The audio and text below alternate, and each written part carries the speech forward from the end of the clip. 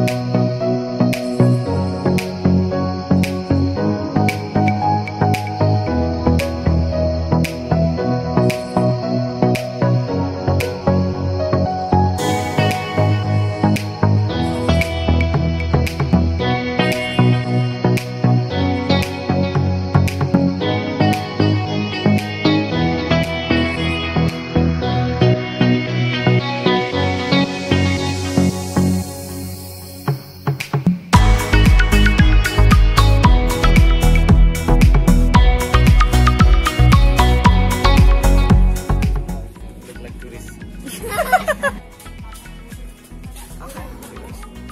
put it back. What did she say? Who? The lady that. Oh, thank you, God. Welcome to Dreamland Beach. At the entrance of the beach, there is warung where you can buy food and drinks, as well as sunbeds.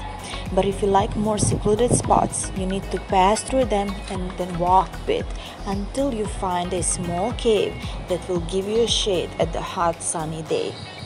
There you will have a spacious white sand beach and beautiful blue water all for yourself. This spot is also popular with surfers because it has such a big waves that also can be used for a fun day for kiddos. And if you're not a good swimmer, don't worry. You can just stay on the sand and play, same like Mila with her great grandma.